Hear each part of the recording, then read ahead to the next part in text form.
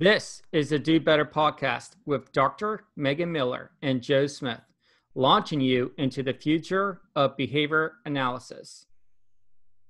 Welcome to the Do Better podcast. In today's episode, we are discussing practical functional assessment and skills based treatment with Celia Heyman. This is Megan. And this is Joe. This is where we blast off to the final frontier in search of improving ourselves in the field of behavior analysis. Thank you for spending time with us. Now let us begin. How is everyone doing? I, I, I just got to ask that question right away. How is everyone doing right now?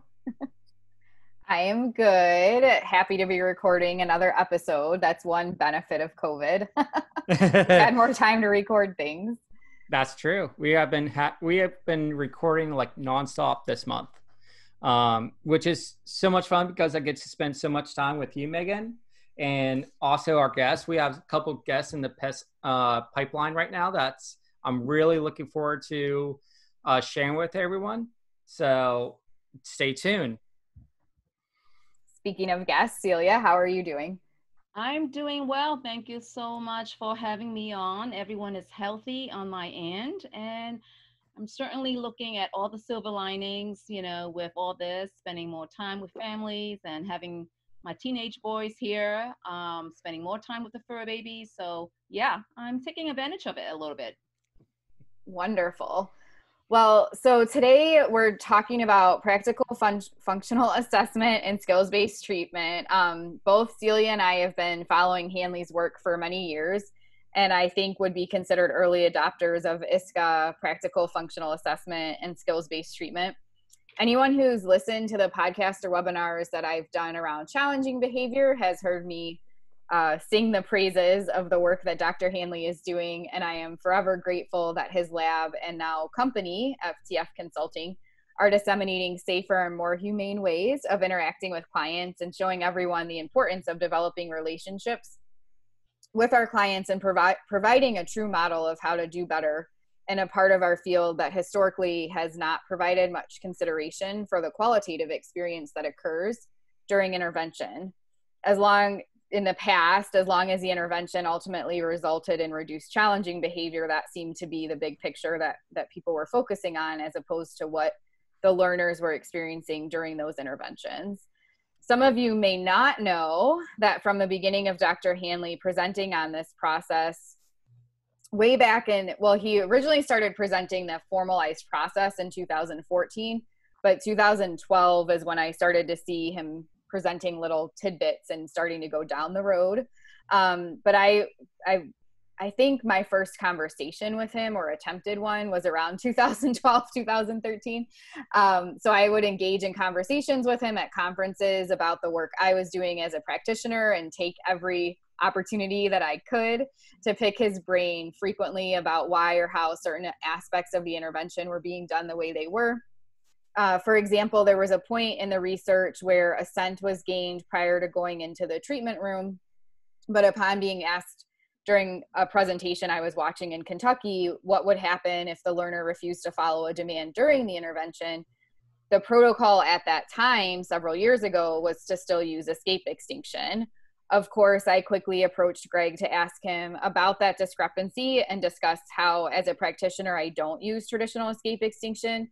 And then I was pleased to learn a few months later that they had changed their protocols. Now, I'm not saying I was responsible for that. I'm sure they were already going down that road, considering that they were looking for assent before even starting in on the intervention. Um, but I just wanted to lay that out as an example before we get started today because I'm constantly looking at how we can do better in our field and some of the discussion today will revolve around continued improvements relating to PFA and SBT that I have been thinking about. I reached out to Celia to express some of my thoughts because of some posts around ABAI and the presentations that occurred there. And I greatly respect the work she's been doing in this area and the insight she has on this and many other topics. So, this was the longest introduction ever, but Celia, thank you for joining us today uh, now that I've sort of explained why we're talking about this and uh, and why we're doing this little interview today, would you tell the listeners just a little bit about yourself? You know, as personal or professional as you would like to be. Oh, thank you. Well, first of all, thank you, Dr. Miller and Jill, for inviting me to your podcast. Um, and like many of your listeners, um, I got to know you, Megan, through multiple social media groups um, that we're both in, as well as having attended so many of your trainings in the past years. Um, and then, of course, more recently, you and I, Megan, uh, we've had you know the opportunity to work on a case together. So thank you both um, from the bottom of my heart, um, just helping us do better. Uh, we really appreciate both of you. So a little um, information about myself. Um, I don't know how many of you know this, but prior to this career um, as a behavior analyst, um, I worked in finance for many years ago. So I am probably much more older than the both of you put together. Um, but working with young people, you know, really has helped me uh, stay young for sure. So currently I am a BCBA living in the Princeton, New Jersey area. Um, at the moment, I do wear different hats, uh, meaning I work for several organizations. Um, I am an instructor with Rider University here, a traditional uh, brick and mortar university here in Lawrenceville, New Jersey. I also teach at Capella University in their master's ABA program. And then for my clinical work, I work for two uh, service providers. Um, I'm the clinical manager for Above and Beyond Learning Group, providing support uh, for coordinating BCBAs and families here um, in the area um, home-based services primarily. And I also work for Beth Glasberg um, at Behavior at her consulting company, providing primarily school consultations. So really just trying to stay in touch and keep connected with all the practitioners that are out there. I didn't think it was possible to meet someone with more jobs than I've had, or Joe. yeah. Sounds like you stay very busy, Celia try try to stay well-rounded and just you know make sure i'm connected with opportunities to learn. I think that it's really important to stay connected uh, with academia but at the same time also to sharpen your skills by practicing um, yeah. and just being in touch with practitioners. I love it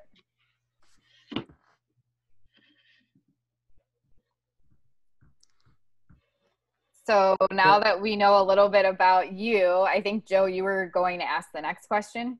Yeah. So one thing so I was wondering about is uh, Cecilia, what's your background with um, PFA and SBT? Yeah. So the very first exposure of the PFA, I think, like for most people, will be his uh, publication in 2014. Um, and at that time, it was referred back to as the IISCA, um, and since then, um, shameless, I have to say I've been stalking Hanley and his people since you, you, you, giggle. That's funny, right? Since 2015. I, am sure I'm not the only one who are, you know, who's stalking them, but um, I've attended in vivo workshops multiple times in New York, Pennsylvania, and New Jersey as well, in addition to various remote synchronous training, conferences, and on demand courses. I think the process has really evolved over the years, um, based not only on the experiences of his lab, but also lessons learned from practitioners implementing this process. And this is really one of the many reasons why we need to stay abreast and we need to build communities of practitioners practicing this and implementing this and learning from each other. Um, and I have to say, you know, while the specific procedures have evolved over the years, so for example, switching from a time-based performance protocol to a more of a performance-based process or allowing for an open door policy and other types of procedural changes to increase saliency, you know, for the learner to discriminate between reinforcement conditions and EO conditions. I think people need to understand that the tenants and the goals of the PFA remain exactly the same from day one. Um, and Megan and Joe, if you want, if I can just elaborate what these tenants are, because I think that most people um, become rigid in the procedural implementation um, without understanding what is the overarching goals and tenants. So is it okay if I just kind of go through yes. them a little bit? Yes. Okay. So I think that you stay true to the tenants and the framework. One, you know, providing a safe context to demonstrate experimental control. And people always forget, you know, this is an experimental analysis of contingency maintaining problem behaviors. Um, your process should be televisable. We are looking at synthesized contingencies. We are targeting all inappropriate behaviors, including precursor behaviors. We are identifying the motivating operation to teach skills, the analysis context should align with the teaching context and establishing functional control and not function um, categorization. And of the most important piece, the most important piece that must be met before we can even begin the analysis is to establish rapport and trust with the learner. And I think that when you have all those tenants upheld and keep, um, it's going to, you know, you're going to have a safe analysis and a safe process. So in 2015, I incorporated just the skills-based treatment portion of the process for several of my learners that I consulted for in school because the staff had inadvertently in the past created um, a behavior chain of problem behaviors to mediate a prompt for more appropriate functional communicative response. So basically, um, what staff was doing was they were not teaching the functional communicative response um, in an errorless learning format. So they would only provide differential reinforcement when the problem behaviors were already occurring. They prompt um, the learner, the learner then emit the more appropriate behavior and then get their needs met. So if you just do that, only teaching during times when there's problem behaviors, you could create this inadvertent change. So I've experienced that in my consultations where learners were doing that. In addition, um, I was seeing a lot of ratio strain happening, occurring when staff was using like a time-based progressive delay contingency. So basically, um, you can have it after a few seconds, then have it after a minute, then five minutes, then 10 minutes. And it was always progressing to a longer and longer time. In addition, they were using um, a progressive ratio. So for every single current target that the learner might be on, by completing that current STO or target, it would only serve as a CMOR or a signal telling them, hey, if I complete this, things are just going to get worse for me. Things are just going to worsen for me. So I was seeing all these resurgence of problem behaviors. Does that make sense so far? Yep. Yeah. Yeah. And so because of that, I incorporated the way um, the SBT process was using. They were using a variable progressive um, contingency chain. And it was contingency based. It was not just waiting for reinforcement. It was, um, you know, earning reinforcement contingent on the appropriate responses. And that was so much better um, because of that schedule. We were never, you know, staff was not extinguishing previous or past um, STOs or targets. Does that make sense? Yep. Yes. So I started doing that. And then I got more training and learned more about it. And that's when I incorporated the full analysis um, so I would say that currently, you know, in the past years, I have about maybe more than 15 learners between home-based and school consults that have received the SBT protocol, and then about 10 where they actually received the full analysis. So from the analysis to skills-based treatment over the years. That's awesome. Um, I know for me, just personally, like I have been first exposed to um, the PFA, PFA and SBT back in 2018 when I did a training with Dr. Hanley. And I'm still in the process of learning more about the PFA and SBT to implement with my clients. It sounds like you have had a rich history of trainings and experiences with this, Celia. And I think the you I think the key thing is you got to do it, and you have to do it with people. Mm-hmm. Um, mm-hmm and you have to get mentorship. So I was able to work with mentors who have been seasoned doctoral level BCBAs. And while they did not understand the PFA, they certainly understand stimulus control. They understood behavior analysis. They understood behavioral principles and they understood shaping.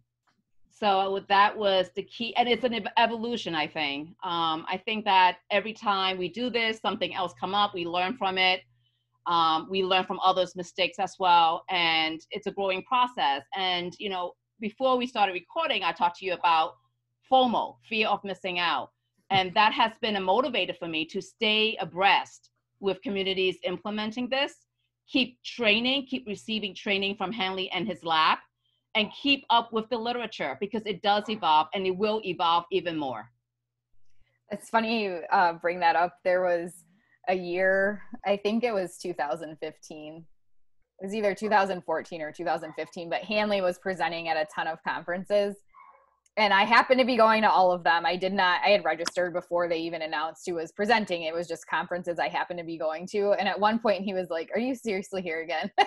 like, why do you keep coming to watch me? And I was like, It doesn't, like, every time you present, whether it's last like a week ago or two months from now, I know you will have new information to share with me. And that's one of the things I've always loved about the work that he does it's it's not going to be the same presentation every time because they're constantly evolving too and learning from their own uh, whether it's mistakes or newfound um, successes and incorporating that into the work that they're doing. So and i've also been really impressed by how well they've disseminated a lot of that because there's typically a um, like there's just this historical thing in our field where it's like you can't talk about something until it's been accepted for publication.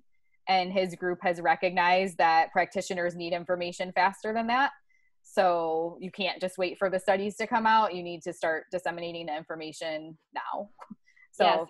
yeah and i you know I, I learn something new every day and i i can you know you were telling us about your history with um, dr hanley you know, as early back as 2012. And I certainly see, you know, all the valuable lessons that you have been disseminating. So, for example, um, you presented at ABAI recently on the critical skills of observing your learner. Um, and if you can observe the learner, then you will be able to make better decision as to what you're going to do next. So, and, and I see this, I see that staff who have been trained on the PFA, um, they become better observers. And guess what? All these other skill acquisition programs that they have, they are now doing it better. Yep. The, the success of that and the outcome, the collateral benefit is that number one, the learner is engaging in all these additional joint attention without having a program called Look at Me, which I hate that program, by the way. um, so they're having this collateral benefit, but skills are, but the, the staff is also having these wonderful collateral benefits too.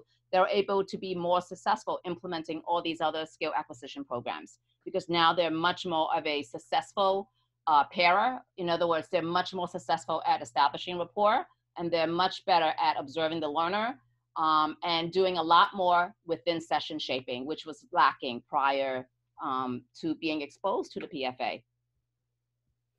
That, I love that recognition of the collateral benefits. That's really important too. Before we move on to the next question, Celia, was there anything else you wanted to tell us with the background with PFA? Any skills that the practitioners need to have that you've seen or anything else about the process that you want to share? Yeah, I think the two critical skills that you must bring to the table before, um, you know, really doing this is number one, the effectiveness of you as a practitioner to pair with the learner. You know, I, I, I tell my staff that if the learner does not want to even play with you, what makes you think they want to work for you? Um, and you know, if you don't have rapport with the learner, if there's no happy, relaxed, engaged coming from the learner, then you cannot even start the analysis. Forget about teaching. The second thing is shaping. You know, even if you attended like 50 trainings, if you're not a person who has the skill to shape, you're not going to be successful. And, and I think that, again, having the skill sets of a shaper to be able to shape behaviors, to be able to establish rapport with the learner and understanding the philosophical underpinnings and the framework and the tenets of a PFA, you can be comfortable going outside of that rigid implementation of task analysis of a program record. Does that make sense? So you don't necessarily have to always teach, you know, or always have to say the folk, you know, the functional communicative response of that learner has to be my way. Not at all. You know, um, I'll give you an example. I would, this is um, an analysis we did at the home, and we tested to make sure that um, the learner has a strong echoic repertoire, and he did. But you can see the affect on his face when there was a vocal prompt given to him of my way. And what we found out was that in the past, my way typographically sounded too close to my turn. And any time someone would say my turn, that served as CMOR, meaning I got to give up my stuff. Um, and so even before we were able to approach him, and to take away his reinforcer, you can see these precursor behaviors already. So we did not teach my way. We taught, you know, let's just say the the client's name was Tony. We we, we taught him Tony's way, and that worked. So if I stayed rigid with the procedure, I would be teaching my way, and guess what? Evoking all kinds of problem behaviors. Does yeah. that make sense? I love that example. Uh, yeah, that's awesome.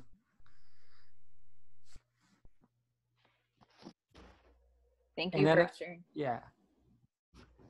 And I think that's also really critical to um, have that rapport with your your learners as well, because without that that um, rapport, you're right. There's no way that you can actually present programming to that learner and especially if they don't want to play with you or engage in any act like preferred activity with you so no i think that's a great critical skill that you must have in order to benefit from the training as well and then from a personal standpoint i'm five foot two i'm a little shrimp i'm a little shrimp and i have to say this type of analysis i i am not afraid for my life you know, yeah. I am not afraid for my life. I'm in this person's home. At one point, he took my hand and he led me to his bedroom. Mm-hmm. Let's go see what's there. Let's go, buddy. You know, I mean, um, at the end, and I don't know this kid except for that first day. Um, he offered me M and M's before I left, and the mom is like, "Oh wow, he never offers you M and M's. See if he offers you a yellow one because he doesn't do that." And sure enough, you know, show, showing up, and I asked him, not expecting him to give me any you know, can I have a yellow one? He gave me one. um, I mean, how th- that was so touching, you know, and so I think that from a practitioner standpoint, and a lot of my school consultations, whom in the past, for whatever reasons, they did not feel comfortable with the standard FA. Um, and a lot of it was unfounded, but it was just a misunderstanding. But guess what? They're like, oh, you want to do the PFA? Sure, go, let's do it it was just a, maybe a different name. Maybe they I showed them some videos about what the PFA is about. Um, let's put it this way: for a lot of the school council who said no to me on an FA, said yes to me on the PFA for whatever yeah. reasons. So I was able to, um, you know, be you know I was able to get in the door and get in the experimental analysis done, um, and match you know have a better success at matching um, the, the contingency to teach the skills-based treatment. Yeah, I'm a special education teacher right now, and there's no way I would want to do a traditional FA in the school system. But a PFA, sure, definitely. Right. I really like how you talked about the um, Joe just said this too, but I would like to second that that you're looking at, you know, the importance of being able to build that rapport and that relationship um, we'll talk about this towards the end of the episode, but I think that is really important to recognize. I think sometimes people might see that something's effective in the research, like PFA or any other thing out there that we could find in a journal article, but not consider those prerequisite skills or you know what actually goes into making it successful. So I'm really happy that you shared that with us, Celia, and that um, you recognize that. When I first started doing trainings in the schools back in like 2011 or so. I was brought in to help train them on developing instructional control, or what we're calling instructional motivation now, to make it more clear um, that it's a relationship that you're building with the students. And I only had 40 hours with the teacher, but I was supposed to train them on that. And I was like, oh, 40 hours to do that shouldn't be too bad. But I couldn't get the teacher to understand motivation and without that like not nothing else could happen. Um so you know she she would give the the students you know stickers or bubbles or whatever and i would ask her why why'd you do that? Well because kids like stickers and bubbles. I'm like was the child showing any interest in those things at that time? No. So we basically spent the whole entire 40 hours with me teaching her how to connect with her students and really just gauge their motivation. I didn't even get to go beyond that. But her developing that skill in and of itself is obviously huge for, you know, additional work that she would do with her students. But I think um, it's helpful to know what some of those sort of prerequisite skills are really essential critical features of a protocol are to uh, make it effective. Okay, so as I mentioned at the beginning, uh, we both watched presentations at ABAI relating to uh, PFA and SBT. And there weren't a ton of them, but I thought it would be helpful to sort of share thoughts around those presentations. As you know, I can talk for hours, Celia, so I'm not going to do that. I'm limiting myself to three thoughts, and then if you want to share three or more, that's fine. But if if I didn't limit myself, I'd say so many more things. So um, I'll go first and just get mine over with quickly, and then see what your thoughts were one of the things that I it's sort of related to this, but not um, not exactly. One of the things I noticed was in general there were more presentations this year relating to not using extinction. So one of the nice things about the ABAI virtual convention, you could type anything into the schedule to see what came up whereas I've never been able to do that on the app or in the book just like put a keyword in and find all the talks around that keyword. So I just typed in extinction and there were about like 10 or so presentations where it extinction came up but all of them were looking at how can you do whatever procedure without using extinction so that was really exciting to see especially having presented on that topic for the last 10 years and this was the first time i think it was more than just myself that came up actually i wasn't even one of them this year because i didn't talk about that this year. But um, so that was exciting.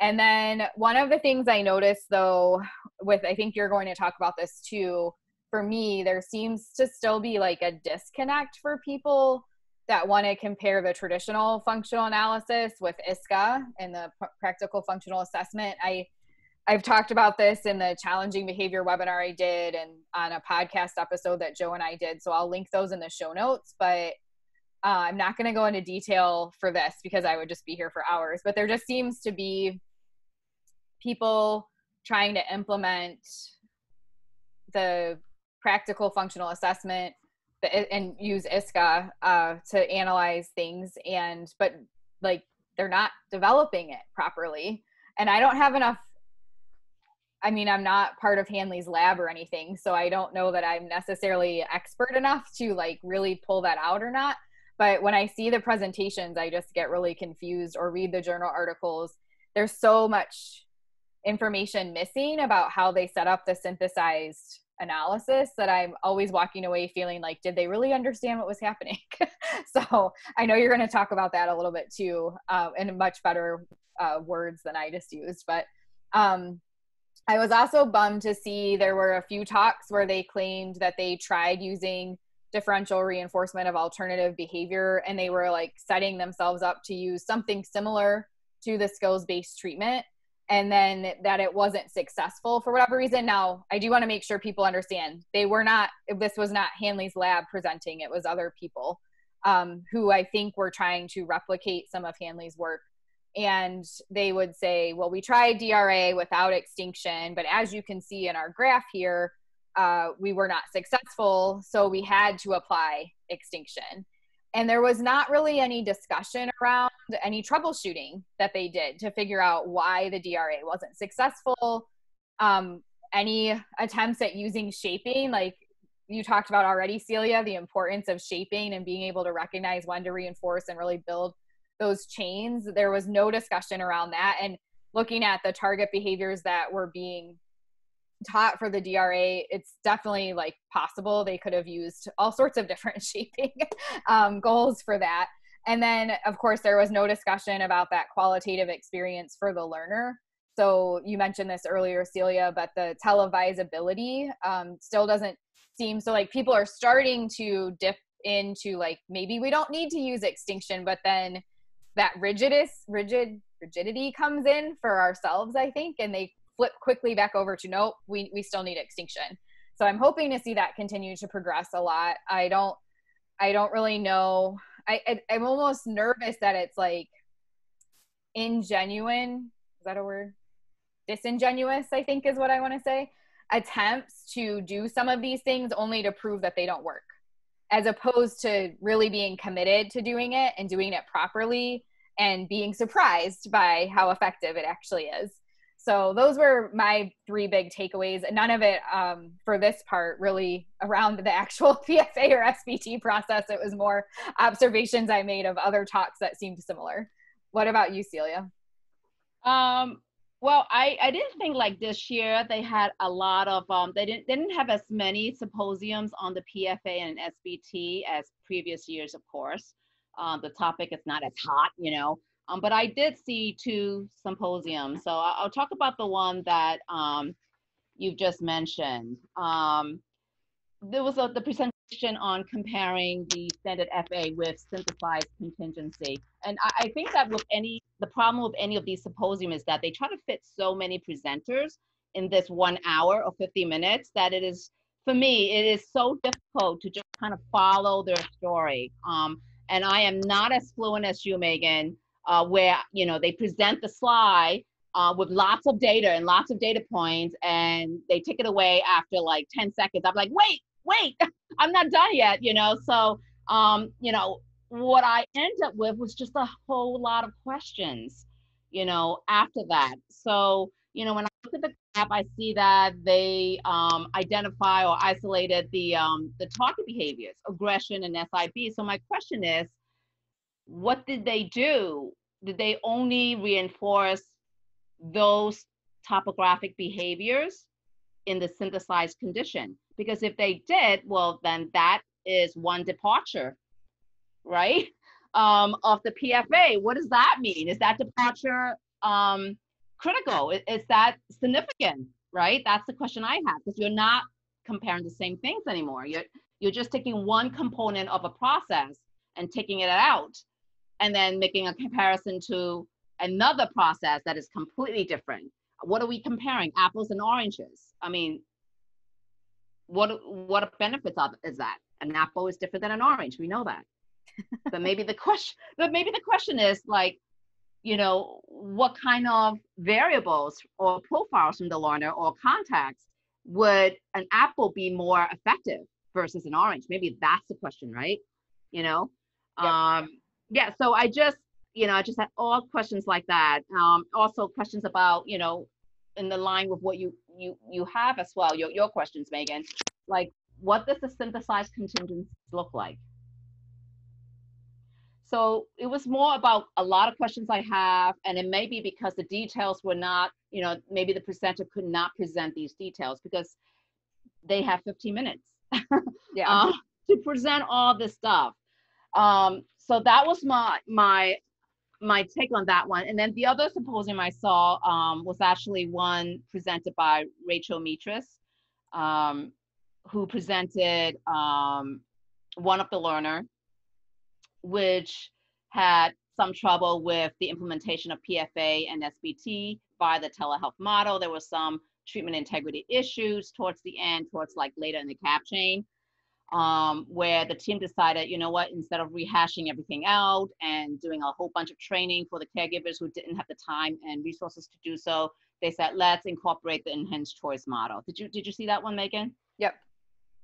Um, so that really was one that sparked my interest um, because of all the difficulties that a lot of my home case um, clients are also experiencing. You know, kid is cooped up in the room, parents are getting really tired, um, there's no school. So I'm very interested in in how we can incorporate that just to keep a lid on everything, just to give the parents a breather, you know?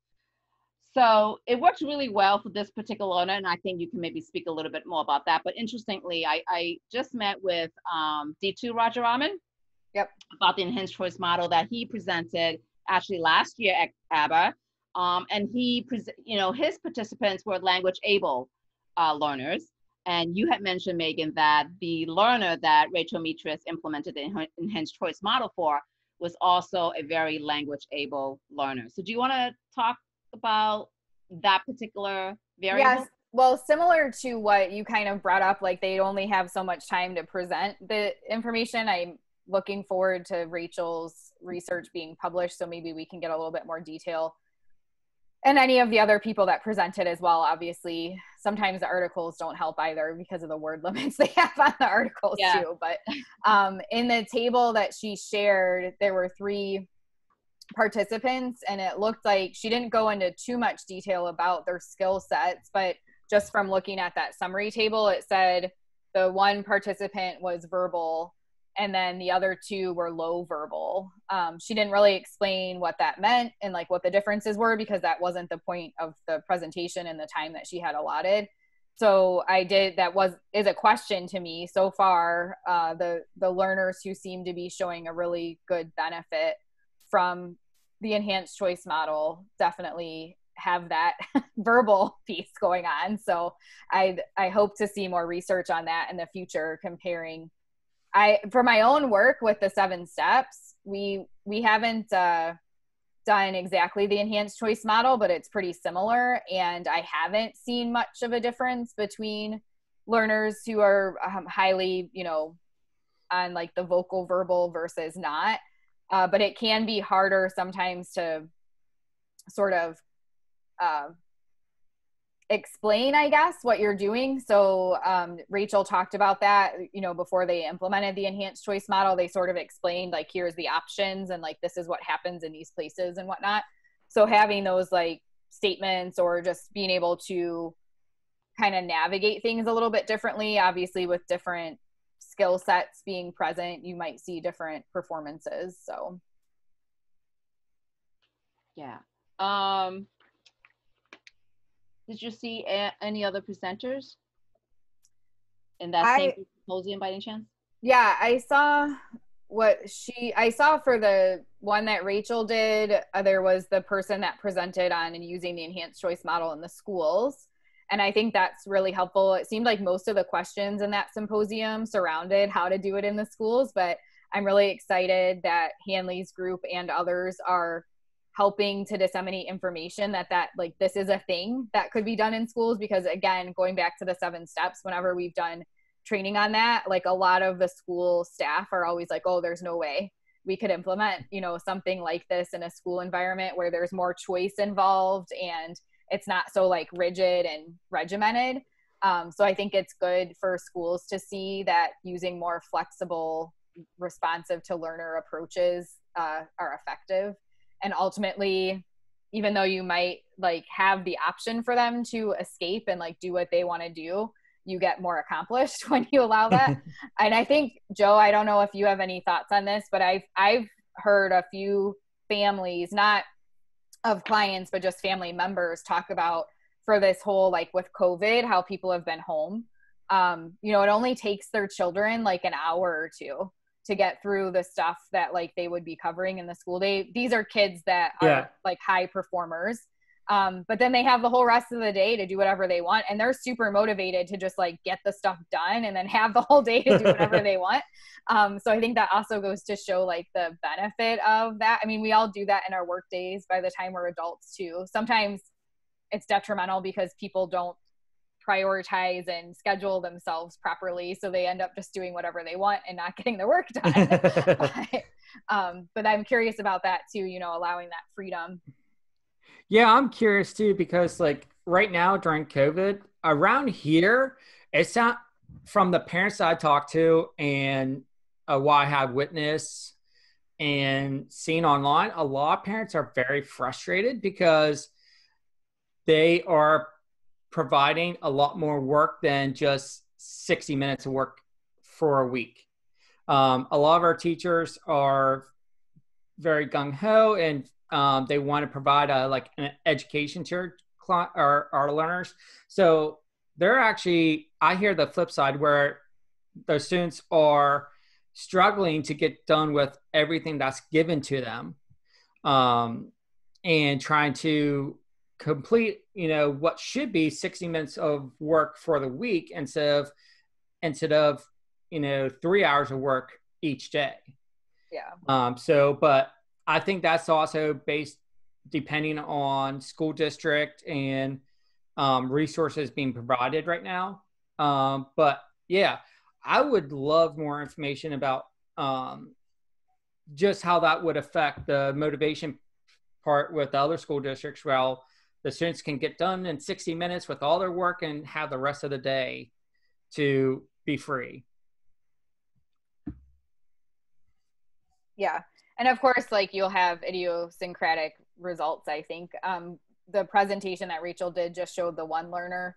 I didn't I, i'm going to be honest for the first one about the schools i didn't attend and take as many notes as i did for rachel's because i don't work in the schools right now. But um but i think you know this particular learner in that study chose the uh the contingency and the practice sessions most of the time and that was mm-hmm. his preference but i think that's something else to you know different people might have different preferences as well I, I, think some of the work that dr DeLeon's done with breaking points and looking at in behavioral economics um, they found that some learners no matter what no matter what their uh, various reinforcers are that they're being offered they when they were allowed to have like a choice in what they were what their reinforcement schedules were they they had higher breaking points meaning they would work longer and harder if break just having a break was yeah. available versus not um so that's you know for some some people like i'm kind of one of the people who just like i want to sit down and like get my stuff done and then like get just if even if it takes like five hours i'd rather like get it done and like the completion of the task is super reinforcing whereas other people they you know tend to work seem to work faster if they like they sit down for 30 minutes and work those that full 30 minutes and they take like a 10 minute break and then come back. I don't like that like back and forth piece mm-hmm. so i think that'll be interesting to study further as well i didn't have that in our notes originally but i just thought of it just now like looking at there's probably going to be preferences that play out where people you know want to stay in the practice condition and just like get it over with versus like they kind of bounce back and forth between the different so we probably should say what um, I think you might have mentioned this. I can't remember, Celia. Did we say what the three choices are in the enhanced choice model? Yeah. Um, okay. So you have the practice, right? You have the practice condition. So you would um, practice the SBT uh, process. You have the hangout, where the reinforcement and contingencies in the hangout condition is matched to the best that is possible with the practice and then but there's just no nothing no demands presented it's just no demands no demands you still have your attention and you know all the contingencies of reinforcement contingencies are matched um, just like the practice but no work no demand in the hangout and then you have the exit um, and so with um, that's easy to do right if you're at the clinic you just say mom i gotta go i want to leave you just leave but at the home you would be basically say, I don't want to choose hangout or practice. So that would be exit. And uh, it's just so counterintuitive. Like if I if I give that to my kids, like most of us would be like, oh my God, they're gonna choose hangout, of course, mm-hmm. right? I mean, a lot of us would think that, but it was pretty. Um, but that's not what the outcome is showing. But I'm also wondering, like, if I do this at my home-based clients just to check it out for like 60 minute session, see what happens. I think it also will help us um, get a lot of information about the learning arrangements, about the therapist, right? So if you have a kid that say, I don't want to hang out with you either, and I don't want to work with you, I'm just going to exit all the time. I mean, that gives you a lot of information about um, the therapist, right? Or the staff yeah. who is, or even the stuff you have. And the stuff. yes. So there's like so many variables. Like, you know, do you keep the stuff that you earn in practice and the stuff that you have freely in the hangout a closed economy when you exit, or is it open? So yeah. there's just, like you said, there's so many questions and there's a need for replication. Yeah. I know when they talked about it in the training in January that I went to, at least in the schools, it was like and in the presentation at ABAI, if the person chose to to exit or to not be there, they just went back to like whatever was happening in the classroom. Mm-hmm. So that would be more of a closed economy because this, the items that would have been in the practice or the hangout weren't available. So I mm-hmm. think that brings up an interesting because like when you're in the house, like the things are still there. so it's not like you're you're leaving. So do those things go with them, or do they just stay in that area? That oh, you know what you could do as as a uh, staff, you know, as a therapist or a practitioner, you bring the stuff in. So you know, it's kind of like it, typical therapy environment, right? Like mm-hmm. especially in EI, you come into the home, you bring your stuff in. You bring your stuff that are prefer, of course prefer for the student, prefer for that learner. And then when you leave, when session's over, you take them with you. Yeah. yeah. Like Yeah.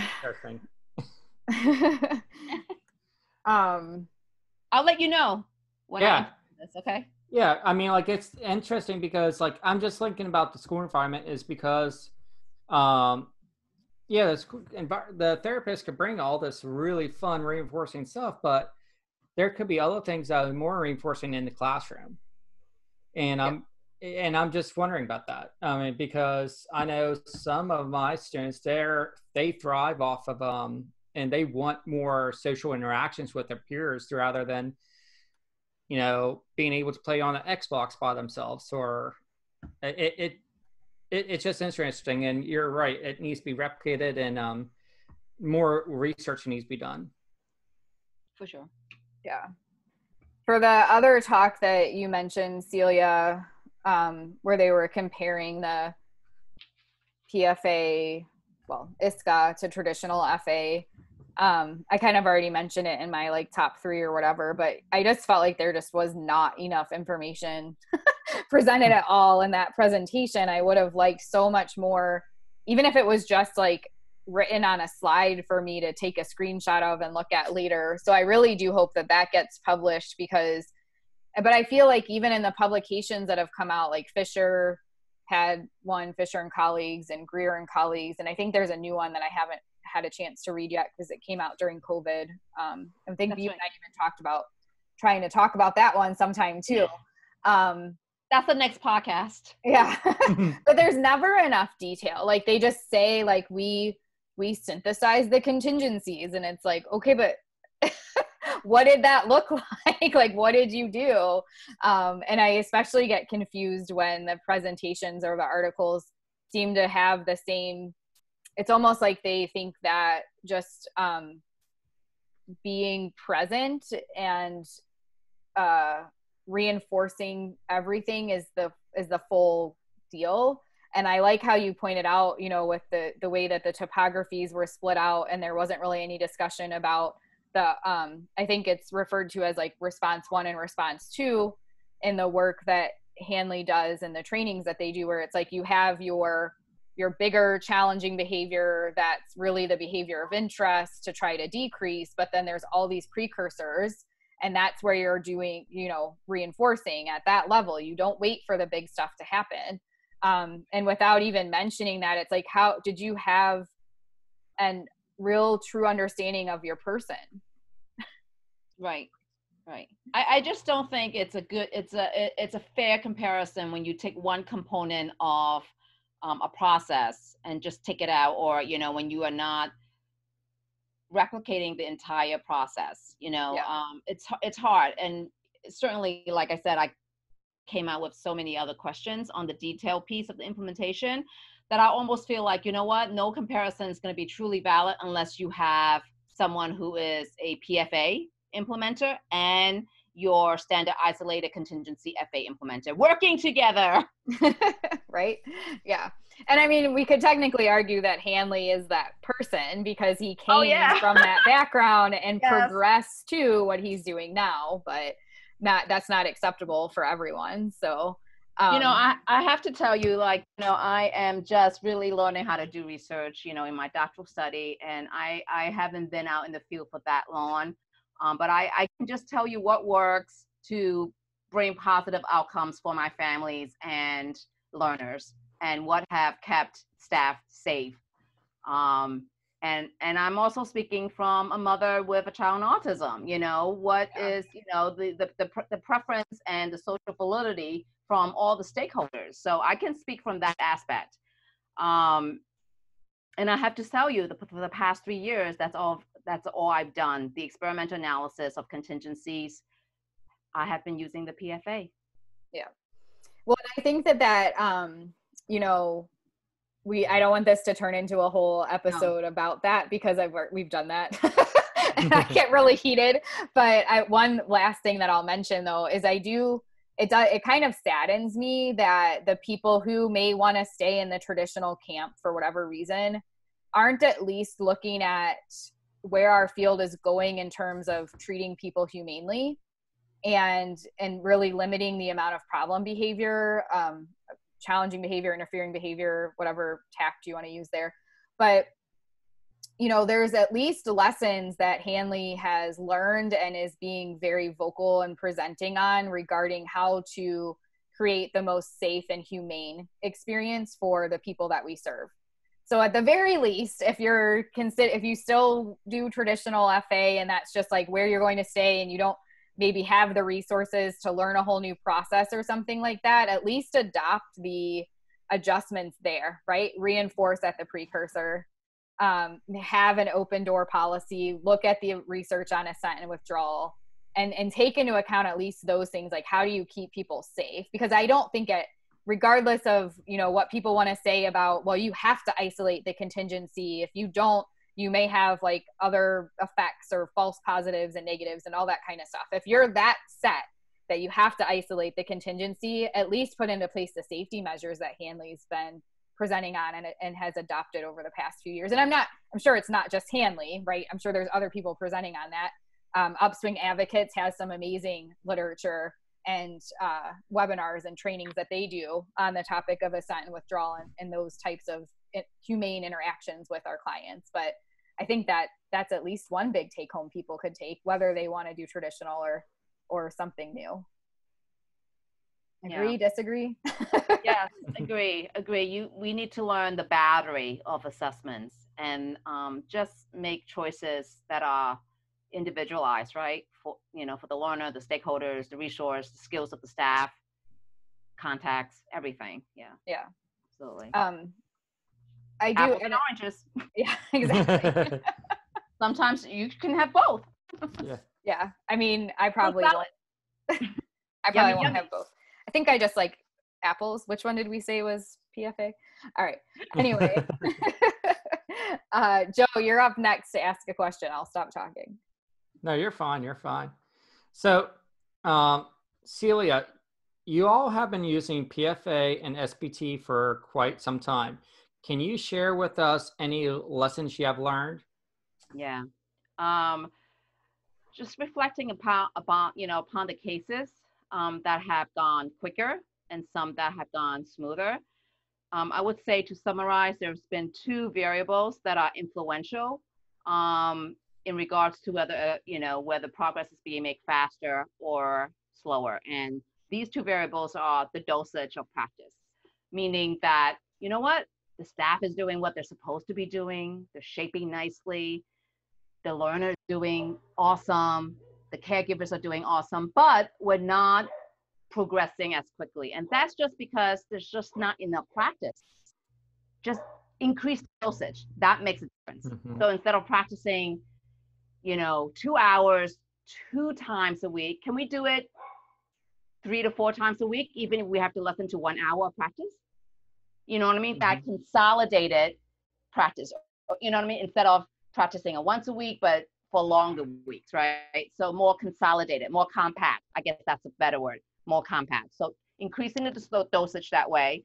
And then the next thing is that I have find it difficult, especially with insurance um, funded cases, is that there is a struggle to have the BCBA on site more for supervision so that we can have more within session shaping. Meaning that, hey, um, guess what? We put in this STO, there's no problem behaviors, but there's no FCR, there's none of these. What do we do? Well, you got to up the EO.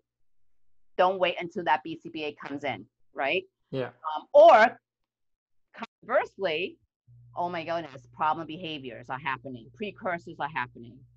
What do you do? Well, then we need to examine that target and lessen that EO. We're, we're going too fast. So that shaping piece, we need to do more of within session. Um, and when that happens, that is one variable that can make the difference between a learner's performance progressing faster or slower. Does that make sense? That does. That does. What are your thoughts, Megan? I think that's great. I think it's helpful for people to hear about the different things that need to be done from a troubleshooting standpoint. Have you all, uh, do you have any sort of resources you've made to like help monitor um, whether, you know, things like any troubleshooting needs to be done or even at the, yeah. you know, how over time, like you get, every learner is different, but you start to maybe see kind of profiles break out where it's like, oh, with we had a situation where the, a learner was similar to this so for this one we may need to start this way instead yeah and and, and i hate to put like a um a rigid guideline but you know something to go go by would be like you know if you have three data points three consecutive data points where um, the learner is emitting the appropriate behavior you can move up to the next sto okay and at the same time if you have problem behavior or precursor behavior that's coming three times in a row, please text me. You know, there's a problem there. Don't work on that STO. Go back and practice the previous STO. Let's just keep it there mm-hmm. until I get there. Um, so we don't have to learn to practice problem behaviors, right? Yep. Um, mm-hmm. um, because it's so hard. Once they practice it, they become fluent at it. I'm like, oh, and it competes with the new response that I want them to emit. Does that make sense? Um, so those kind of, um, and, and I have, you know, we have requested insurance to, um, you know, for more supervision hours because learners are on this particular uh, program and they are early on this program. In other words, they're not like far in, in the, you know, in the, uh, the end of the caption. They're like towards in the beginning. So it's really important that um, we do more within session shaping and that we are overseeing what the staff is doing. So for a lot of the insurance um, providers, they have agreed to um, increase supervision hours for BCBA on those cases. Does that make sense? Yep. Yeah. yeah. And I love that you have that decision point in there at least so that a a learner's not stuck at a stage for too long either. Like you could have the opposite where there's great data on an STO, but the um, implementer doesn't move on. they just stay stay in yeah. one spot and reinforce that you know responding for too long. Um, yeah. So that's good to have both when to move on and when to take a step back or contact you. Yeah, definitely a um, you know just have being available for the staff, um, especially in the beginning of the process um, it's it's really critical. You know, just be flexible. That you know, let you you know your staff will be able to text you and you can contact them, or just you know being supportive and just being available a little bit more. Yeah, really helps. Yeah. I um, it's funny because I present on this, but one of the lessons that I've learned, and I haven't you know ex- um, extensively implemented like you, Celia. I'm mostly a fan and a co and like a cheerleader for the process because I don't have too many clients right now. I guess a disseminator to like help people learn more about it. But uh, one of the lessons that I learned was really that importance of of really really being responsive to the learner and what they're showing you. So that's something I've focused on again for over 10 years. But we, with the one case that I uh, have the mo- have done the most on with this we were missing key indicators of uh, of the precursor type behavior so we didn't even realize it like there were some obvious ones like screaming or making certain faces and things like that but there were other ones where like maybe saying something and and calmly saying it but while calmly saying it reaching the arm out to like sort of control the person. Like i will make you uh, give me whatever i'm asking for um was uh, obviously an indicator that they weren't happy relaxed and engaged. So really like getting better tuned in on how how the learner's doing in terms of staying happy relaxed and engaged. And and i i'm really grateful for the work and training I've had up until this point on uh, systematic desensitization and respo- response. Wow, exposure and response prevention (ERP). Um, in terms of what I learned early on in my career, even as an undergrad, but there was always this idea that there needed to be like, or not there needed to be, but that some little level of discomfort was okay as long as you were like at that balanced threshold and like didn't push too far but you couldn't move to the next step if that little bit of discomfort was there. And i've really seen with the work that hanley's been doing that um, there's just such a fine tune tuning in to the learner and really looking at was that happy relaxed and engaged or does even your slight body movement this way that looks totally calm and like really doesn't look discom- uncomfortable at all is a signal that you're not happy relaxed and engaged and we're moving too quickly right so like really being able to key in on on those things that may not even seem to be discomfort for the learner, but they're clearly showing they are not happy, relaxed, and yeah. And you brought up a good point that you know reminded me that one of the key variable that has really changed the way we do things is that instead of a time-based performance, so another time-based uh, protocol to a performance-based, meaning that okay, you can go take your five-minute break, and five minutes up on your clock, we go back to work. Now we're going to look at the learner's performance, and that has really um, mitigated the aggregation of EOs, building up by the end of the session. Oh my God, the learner has had it. You know, so we're mm. avoiding situations like that because we're not letting the EOs aggregate. We're going to go back to work when the learner is ready. Does that make sense? Yep. And so yeah, that is like a huge improvement. Um, and the other thing is, you know, in the beginning, you know, I, I find that we have to sort of like teach the staff who might not have any exposure to this is that you know what this trumps all the other skill acquisition program so it's not like right now we work on pfa and then the next time you know we're going to work on man, we're going to work on um, matching to sample no no no no no this trumps everything yeah you know and so even explaining it to caregivers is it's not like this is a program we'll work on a few trials of this program then we go into the academics it's not that this mm-hmm. trumps mm-hmm. everything. There's a reason why we're doing this. is because we have problem behaviors and the learner engaging in problem behaviors mean the learner is not a ready learner. You can't teach mm-hmm. anything until yep. you, right? Does that make sense? Of course it makes sense. Yeah. You taught me this, Megan. I'm asking you if it makes sense. That's silly. Yes. No, it definitely makes sense. um, all right, so let's see. What's our next thing that we were going to talk about? Joe, did you have any additional thoughts to add to that before we move on to? The, I think we're almost closing out here. Yeah, we're close to closing out, but no, I mean, it's just hearing you speak about the different EOs and um, how you work with clients is amazing. Um, and something that I'm definitely going to have to consider too, like whenever uh, with my own clients. Um, and really dive into how to program um, session now. Yeah, so. it's true. It's like teaching that therapist. The therapist will call me, text us, and you know what? I didn't get that many data points in um, of you know his academic work because we had to spend more time getting him back into HRE. I'm like, good job. That's okay. Yeah. You know, so it's also reframing their mindset, like just because the the learner is cooperating with you to do an academic piece of work or to do any work doesn't mean that you know it, is that learner cooperating with you under aversive control or is that mm-hmm. learner cooperating with you under reinforcing properties that you are providing that's yeah. that's so critical right to be able to ask that question huh you know yeah which is like really powerful like especially in my cl- like classroom now is like i make sure like my students are ready to come back um, once they, I mean, when they're ready to work, that's when we're ready to work.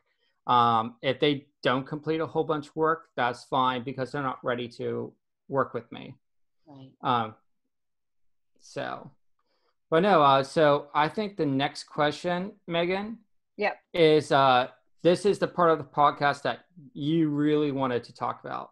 yeah, we'll see if I can uh, refrain from going on too many uh, slope boxes here. So, um, so what part of what spurred this podcast episode was my ongoing desire to see things constantly improving.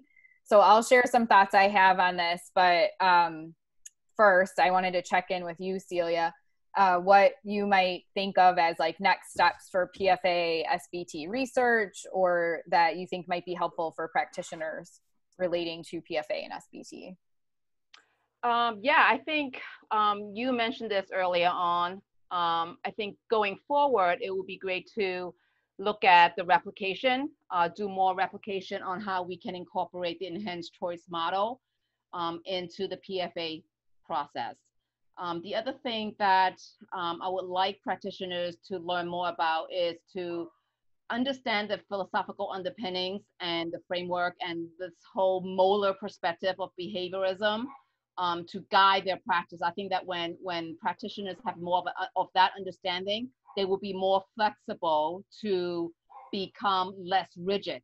They will be more flexible. They would you know, they will implement the process in a more progressive, in a more progressive manner.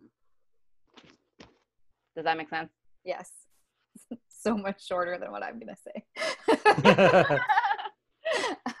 Not surprisingly. No, and I definitely agree with you on all of that, especially the part about learning the underpinnings and that, you know, even some of like relating to the historical perspective, but really having a good grasp on especially shaping because not a lot of people do. Um, I know that's not as molar as you were talking about, but like just that in and of itself is something that's not really targeted well enough in our training programs right now. So, um, so for me, a couple of the points that I thought of one is identification of prerequisite skills for being successful with the PFA and SBT. And I think Celia, we already talked about this regarding the from an implementer side of things i hadn't even thought about it from that angle but obviously you know what are the critical features there and making sure that implementation goes well but i was thinking more along the lines of for the clients and the learners so i um, one of the things that I've presented on for the last few years is regarding emotional regulation, which I know is sometimes taboo in our field, but it's real. so I think, and it's, you know, it's a big topic of conversation, especially in the schools, and it probably will continue to be even bigger after COVID and mm-hmm. the different things people have been experiencing relating to that. But so, you know, is it is it possible just through the shaping process within the skills based treatment to you know break things down far enough and be that tuned into the learner that those emotional regulation skills would develop or is it better to spend some time really help you know in neutral moments doing some explicit training on you know how to express different emotions and transition in and out of those emotions. So like it's okay to be mad and th- these are safe ways to be mad or it's this is how we can be calm. I just did a program with my son who's four called emotional abcs and i actually didn't do it correctly. It's a computer based program so i just logged in and like went through the lessons with him found out after we finished it that they had a whole teacher section with a scope and sequence and mm-hmm. all of these like lesson plans and like activities in addition to the the computer online portion of it but just doing the online portion of it really laid out for me how many different like skill sets are involved in like not just recognizing emotions but you know learning to talk about what your body is feeling and that like physiological sensations that you go through when you're experiencing different emotions. They have a, um, a really cool um, they use a lot of behavioral skills training but they have this like little diagram or i don't know picture thing. But basically their process is that they initially lay the, the groundwork by explaining the different emotions and the different sensations and all of that kind of stuff. But then the final like sort of take home with it is you te- they teach like a three step process to the kids of like what how do you regulate this? So when you're feeling something you pause and you take some breaths and then you rewind and you think about why am i feeling this way?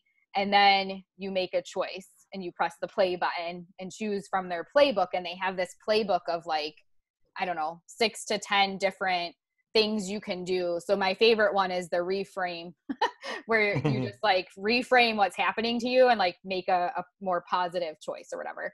Um, but so that there's like a lot involved in those processes, and that was just for my son who's typically developing. Um, so I've done a lot with learners who don't have high language. Uh, where we just practice different exercises around like just showing calm and showing mad and i have done some trainings on that. So I wonder, like, I've only ever done a PFA SBT process with learners who I've also already worked on coping and some tolerance skills first. Uh, so in the the videos that I've seen, a lot of the videos I've seen in the trainings or from other people that have done it, their learners are also ones that have some level, like they they might engage in a really high level of challenging behavior, but they also um, they also seem to have some level of emotional regulation.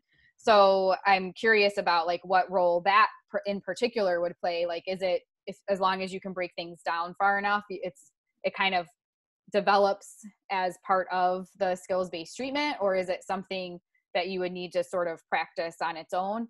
Um I think that that'll be an interesting area to look into. Before I talk about the second one, Celia or Joe, do you have any thoughts about that particular piece? Well, I, I think that that's that skill set. It's so uh, lacking in so many of our learners. You know, um, and I, I think that it's hard to engage in that more appropriate response under times of stress or contexts of stress. So we do need to create um, a condition for them to practice in where the condition is not as aversive, you know, and, and just through exposing that less aversive condition to them and a lot of practice opportunities. Yeah. Um, and I think like you could argue with skills based treatment that that's partially happening, but at least in the work that I've seen so far, I'm not seeing kind of like a coaching through of some of the emotional regulation that I would do when that's what we're working on. And I'm not saying you couldn't do them both at the same time, but I just would love to see that brought in a bit more. Jonathan Amy does a lot of really great work with uh he's starting to break down, you know, like the component and composite skills relating to emotional regulation and taking it all the way from like the base level of like being able to fluently move your body up to breathing up to like some yoga mindfulness type stuff all the way into like act and metaphors and things like that so really going from like the base level if if you can't even you know recognize if your heart's beating fast or slow or if you're like how your breathing is it's highly unlikely that you're going to do some of the more advanced like act you know yeah. exercises and things like that or that in a moment of stress you'll be able to notice what your body's going through and like make any sort of changes there so um so i love the work that he's doing but i'd really like to see you know is that stuff that would enhance the effectiveness of the skills based treatment? Is it something that maybe needs to be done first? Is it something that can be done parallel? So just more, you know, research yeah. around that. Yeah. Yeah, there's so many different um different tech I mean techniques, there's different programs that you can use and there's so many of them, but um I, I feel like we're still lacking just with like what's the best um, course of implementing emotional regulation to for within programs um, and i think that it I, I would really see more research and see if that's a component that we can just use more with the F, uh, pfa or just um, what what i mean how we can best address that component with our learners too. I mean, what are your thoughts, Megan and Celia? Well, I, I do like the, um, you know, how we're using um, the variable progressive um, schedule to build tolerance. And that's that's what emotional regulation is. Like we all have aversive situations. We all have conditions where we feel like I need to get out of it, but we don't, and we don't punch mm-hmm. someone. We, we do something else, right? Yeah. Something else. But you know, for me to build that skill, it's building a toleration of it. So I'll give you a, uh, an example. Like my my son, he used to get really really upset when he loses um, in a competitive sports. Let's just say whatever basketball shootout, mm-hmm. whatever it might be. Um, and it's that's not the time to teach it, especially no. when we play that sport and when he's in that condition or potential of an opportunity to be in that condition of losing once a week, right? This is back in little league or whatever it is. We mm-hmm. can't do that. But you know, we started out as rolling the dice. You know, see who let's roll the dice. Whoever has a lower number loses. And if you are the loser, you'll get a tally. If you have enough tallies, you'll earn some arbitrary reinforcer, right? So I'm pairing losing with something that it's not as bad, right? I'm yeah. pairing it with some, with some arbitrary reinforcer. And guess what? There's a lot of opportunities. I can roll the dice 50 times.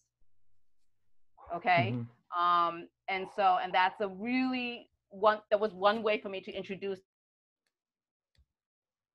that aversive, aversiveness of losing, but in small quantity. And I can build lots of opportunities for losing. Losing, you earn a tally. Losing, you earn a tally. If you win, that's great too. And so just over time, it's exposing him to these small elements of aversiveness and a lot of dosage of practicing the alternative skill, which is next time I'll try again. Or, you know, that was a that was a good roll, mom, whatever that alternative is, you know, instead of mm-hmm. getting really upset. So where was I going with this? So yeah, you, you have just to given us an example. Yeah.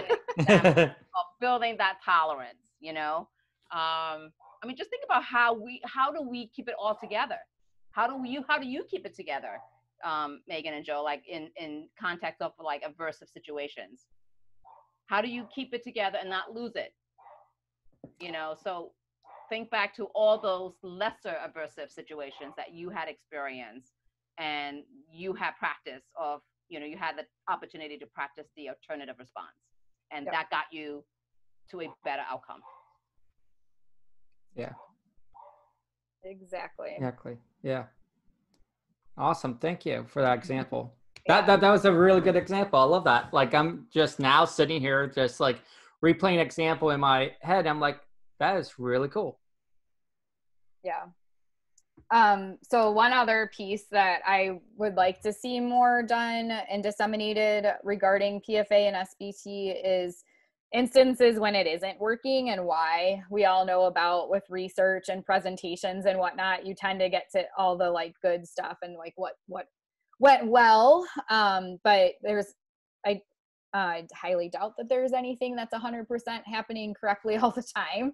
Um so or not correctly but effectively. So i'd like to see more of that you know discussed um, whether it's practitioners sharing. I know on the facebook page people do pop in and like ask troubleshooting questions and whatnot. But i you know again i think that there may be we may end up seeing that there's certain environments or circumstances or implementers or various things. We all know with um, any sort of programming that we do that there's a lot of variables that go into it. So you know what is the ideal situation for implementing PFA and SBT and you know what types of things might we need to be prepared to troubleshoot or uh, teaching we might need to do training we might need to do ahead of time to make it the most successful? And of course you know seeing maybe they won't get published in journals but seeing some presentations of failures and discussions around like why those maybe failed or how it could have been done differently. I do think we get some of that in the the trainings that ftf does because they'll say like we used to do it like this and now we do it like this and it was because of such and such. But that's like a little quick you know sentence and then it's over and it's on to the next thing. So um I really would like to see, especially for some of the more complex cases, like the example from the from ABAI, Rachel's enhanced choice model. Uh, the person that she talked about was verbal, and when she described his, um, you know, the contingencies that were happening at baseline, where it was basically like anytime he engaged in challenging behavior, mom just gave him everything he wanted. So that makes it a little bit simpler to address i believe and like see amazing graphs like she had then if you have a case where you know this maybe the learner has been with some of the best of the best in the field of behavior analysis the parent is doing everything you know possible under the sun uh, and there's still persistence with some challenging behavior um, that's going to be a lot harder to figure out and like why that learner hasn't made progress. So hearing more about cases that are more complex like that, especially um, I know Tradewinds is going to be doing a presentation for us for the Do Better movement in June, uh, which I guess it's June today, but we're recording on June 1st. So that should be really exciting because they're going to show some cases of learners who are in high school or who are adults that have really long learning histories of challenge of engaging in challenging behavior and that aren't verbal and have uh, or vocal verbal and have like various skill sets that have been affected by the level of challenging behavior that they engage in and showing some of the progress they made. So seeing you know examples like that would be really helpful as well. But one of the other things that ties into this a lot of the the research i've noticed and i've thought about this off and on i think sometimes in the trainings they talk about it but i can't honestly remember but a lot of the times we see the data that's presented is like the practice session data right so we see did they engage in challenging behavior during the practice sessions or not but what about outside of the practice sessions so that's something I think is important to know as well. Um, obviously, like Greg does a great job with like social validity and getting those measures. And um, Celia, you talked about how like people are seeing gains that they hadn't ever before. But um, but if the data that we're mostly seeing is, and this is true not just with PFA and SBT, but with any intervention that's done, if the data we see is only from that session, from the the intervention time, um, we're we've been focusing a lot on like multi-level assessment and training people on that. What are what are the assessments you know to show how it's actually happening in the natural environment and that it persists over time and all that kind of stuff too? So i sort of threw two together there. On, on, some of my school console um, for some cases where the the caregivers doesn't take data. So you know after sessions with the staff we give homework right? We ask the caregiver to do this just keep on practicing this. And then the next time we next next session they would probe to see if the learner can still do that sto um, before moving on. So it, I, I, guess that would be like a, a probe data. Yeah. So yeah we kind of alleviated the caregivers to take data yeah um, and that's part of the difficulty is like getting the data in the natural environment i think we could do there could be like some sampling or something where it's like at the same time every day, even just a plus or minus. Does the challenging behavior happen at five o'clock? You know, whatever the highest probability time would be. So you wouldn't even need a frequency count, but just something. Is it happening or isn't it? Yeah. Kind and then deal. what happens is that you also find like caregivers say, "Oh my God, I didn't take data, but he has this big meltdown," and then we ask them to describe what happened. I'm like, you know that that's STO number 25. We're now on five. so these these like accidental EOs, you know, they don't mean to put them in but they do. I'm like, it's really aversive. It's a really difficult situation going from like something reinforcing to asking him to do the most aversive thing. You know, that's why he's engaging in that problem behavior. That makes sense. You know, yeah. it's nothing that you did wrong. It's not. It's not the learner, but that's just like STO number 25, and we're on five right now. yeah. And I think that's another like really helpful point in relation to like the PFA SBT process a lot of the times when I see people looking at challenging behavior, they're not thinking about it at that level of detail, right? They're just like, we came up with a behavior plan and we've identified the function and now it'll go away. and it's like, eh, it's not that simple. Um, so I think, you know, having the team be that tuned in on, well, that's all the way up here and we're just here, but also then helping the families or whoever else is involved with the learner, the, the teachers or the community based settings and that kind of thing so that they can really understand of like trying to I know Merrill Winston kind of talks about antecedents manipulations not being like the best thing ever, but you get you get a better picture of and his argument there is that like if that's all you do and you don't fade them out but you get a better picture of like how to you're gonna kind of walk on eggshells a little bit around certain things and like limit stuff but then as the skills get more and more built you can start pushing things more um, so it's more systematic as opposed to like, oh, we didn't re- well, he's, you know, there's a behavior plan in place. He should be able to do this now. Right. It's like, no, yeah, not how this works. Yep. Would that be helpful in the school setting, Joe, to have like a, especially to communicate with the, the teachers and the school staff of like, you know, here's the goal, but we're here.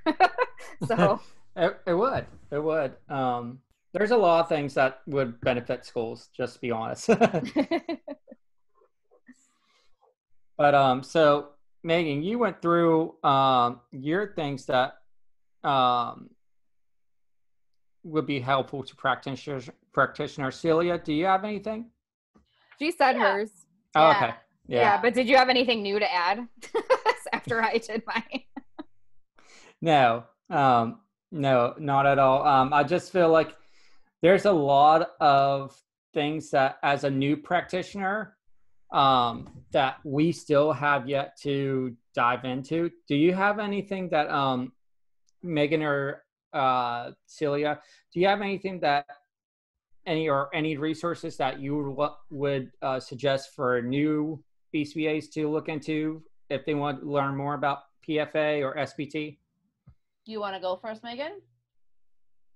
Um, probably will say the same things. Yeah, I think we'll probably say the same things. You go first, and I'll let you know if there's anything I would add. yeah, um, few things. Um, there's some free videos on YouTube. Um, they're like maybe a total of three hours. It's like an hour and, and change that's done by um, Dr. Hanley.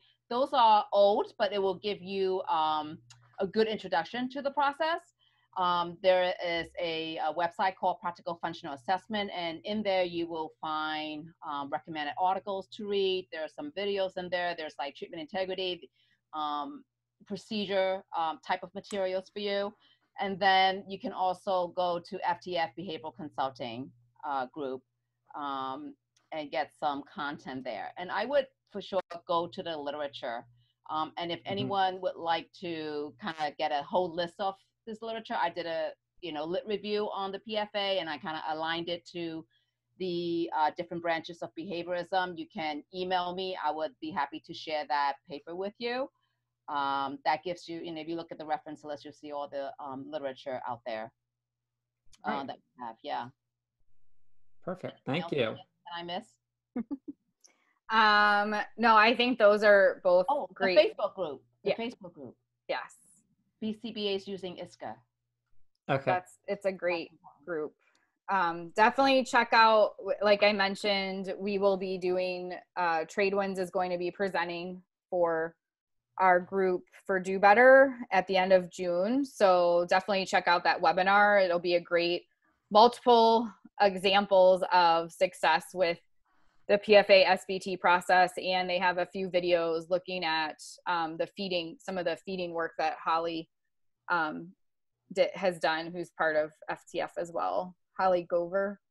Yes. Um, so I that would be my addition to that. I mean, there's so much out there now. So yeah.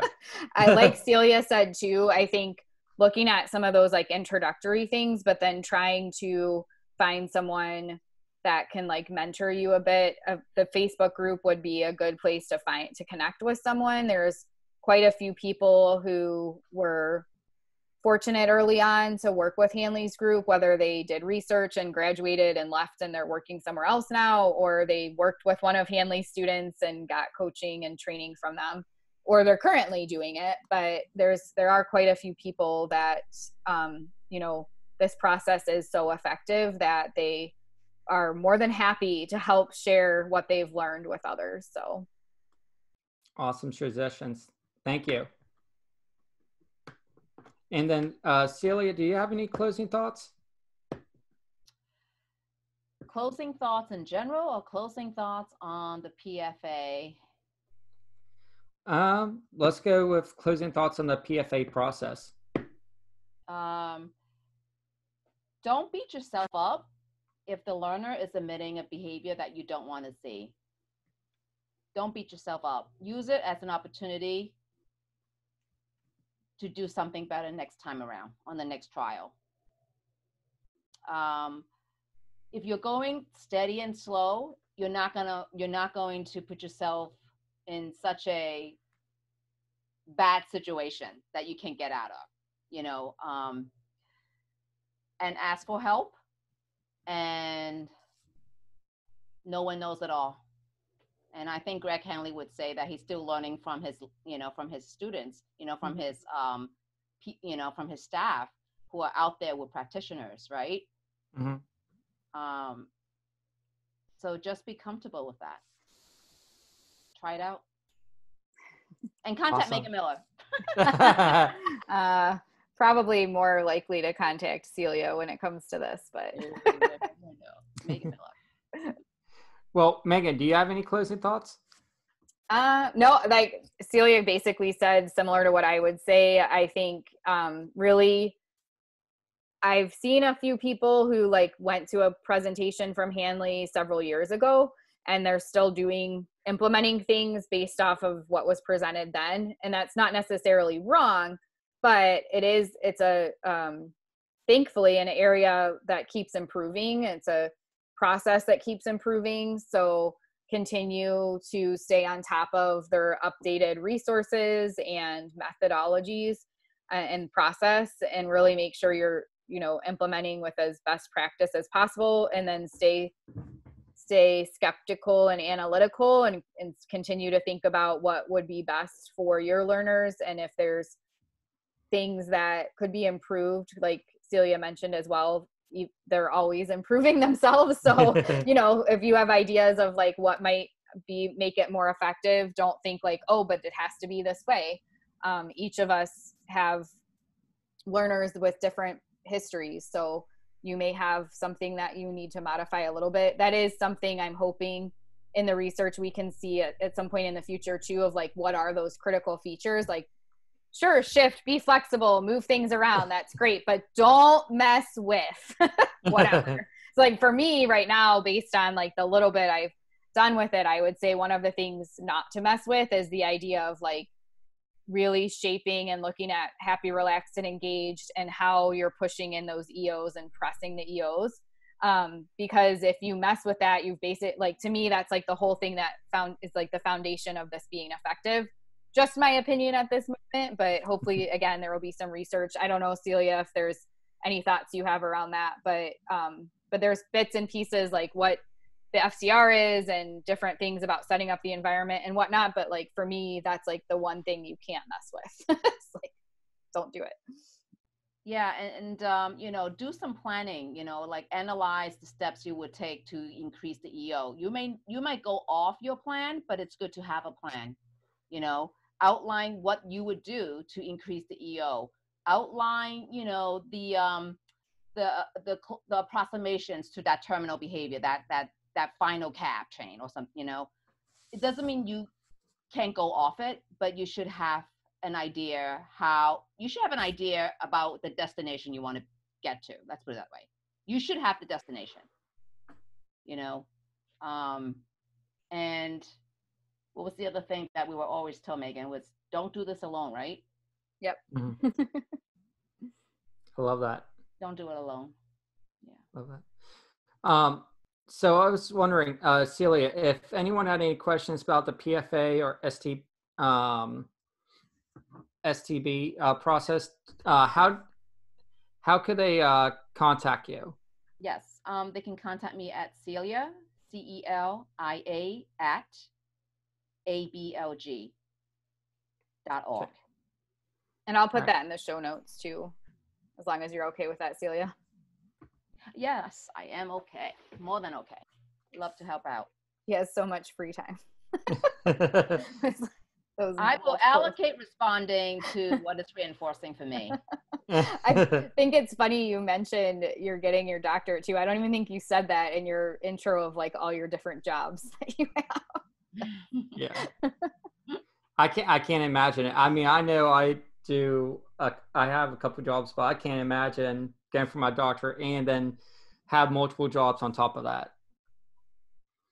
But um you're you're um, thank you for everything that you're doing by the way thank you for you thank you guys for um, helping us and you know always providing so much um, content and support we really appreciate it no problem. I really appreciate that uh, i really appreciate that. Appreciation all around. Yeah. um, but I, I do um, celia you've been you know active in the webinars and different activities that we've done for do better since it started and that's always been very motivating for me. So i appreciate your support and for jumping on to talk with us about pfa and sbt today. Yes. What will you talk about next what's what's your plan you and joe oh for our next podcast episode uh-huh. Ooh. oh i don't know we have this like long list on like google google docs that's keep on that just keeps on expanding. Yeah. and it seems like it expands after every single conference or major uh, development.